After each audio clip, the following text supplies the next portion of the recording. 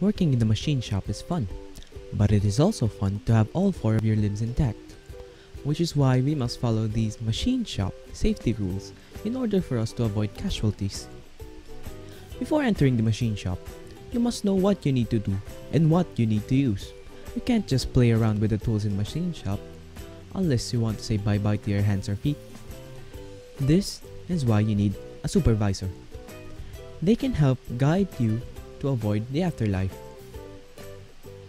They can also help you in inspecting the equipment and tools that you will be using, as well as the procedures you need to follow. Never work alone. In case of a machine malfunction or an accident, someone needs to be there in order to help you.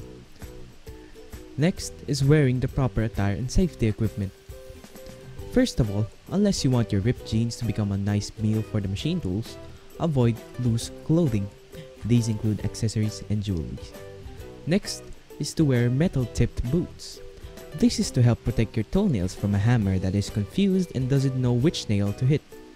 Also, please don't play around wearing those metal-tipped boots, unless of course you want to kiss the concrete. Don't forget to wear eye protection and gloves, but make sure to wear the proper gloves for the task. Surgical gloves and cloth gloves will only protect your fashion sense. If you're working with heavy materials and machines but don't want to be a human whack-a-mole, wear a hard hat. Now, here are some practices you need to remember when working in the shop in order to avoid accidents. Keep your work area clean. Do not place tools and materials on the machine table after use. Put tools away when you're done using them. Never leave tools unattended. Inspect equipment before use. Keep blades covered as much as possible.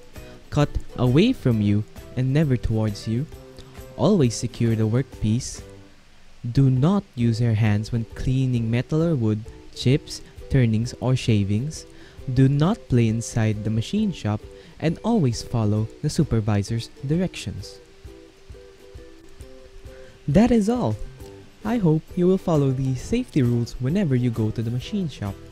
And always remember folks, it's better to lose your fashion sense than to lose your limb. Thank you for watching.